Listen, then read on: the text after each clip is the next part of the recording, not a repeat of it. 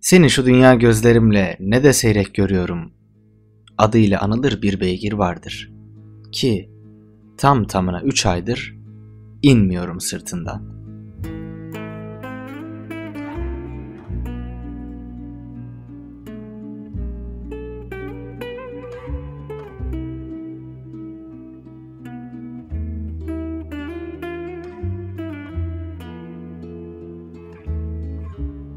Gece, inmek ve annem hakkında bilmek için iyi bir fırsattı.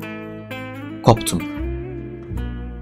Kanatlarım günlük bal mumu, saf soluğum kasa taze dayanmış bir hayvan gibi müsait.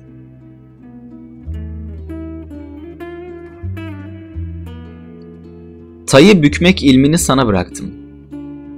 Kan saptığında geceyi, soyunduğunda dulu, gel Çocuğun süt çektiği soluğu sana. Polisler gibi geçtiğim şu bordo sara, gözlerinin vaat ettiği akut kaplandır.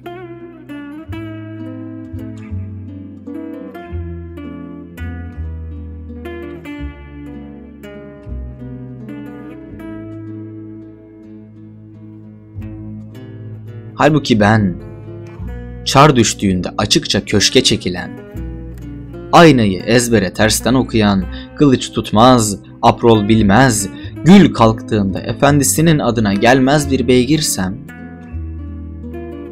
bilirsen böylesi senin için daha iyidir. Ah, gel bir barajda Müslümanların elinden çıksın. Gel, trapez meç kesilsin ellerimde. Gel.'' Gel yoksa bu kramp, bu kadro, bu gürz.